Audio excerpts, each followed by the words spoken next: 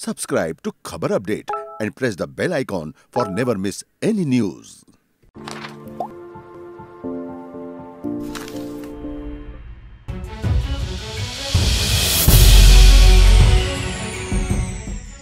देश भर में 2 अक्टूबर को जहाँ एक और राष्ट्रपिता महात्मा गांधी की 150वीं जयंती मनाई गई, वहीं मध्य प्रदेश के रीवा में उनकी अस्थियाँ चोरी होने के मामले ने देश को झकझोर कर रख दिया है ये घटना रीवा शहर में स्थित बापू भवन की है, जहाँ लगी गांधी की तस्वीर पर अज्ञात लोगों ने राष्ट्रद्रोही लिखने के साथ साथ वहाँ रखा हुआ उनका अस्थि कलश भी चुरा लिया। गांधी की अस्थियाँ चोरी होने की खबर पूरे देश में आग की तरह फैल चुकी है।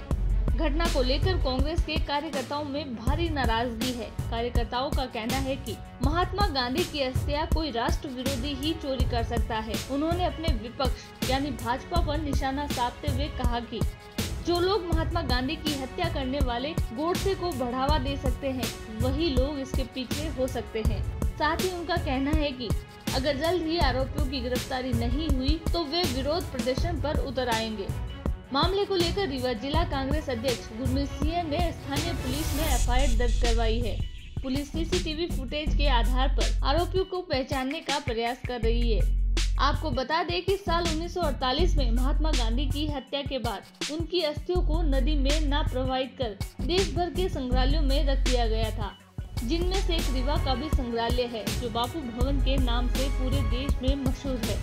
ऐसे में उनकी अस्थियों का चोरी होना किसी बड़े हादसे से कम नहीं है टीम खबर अपडेट।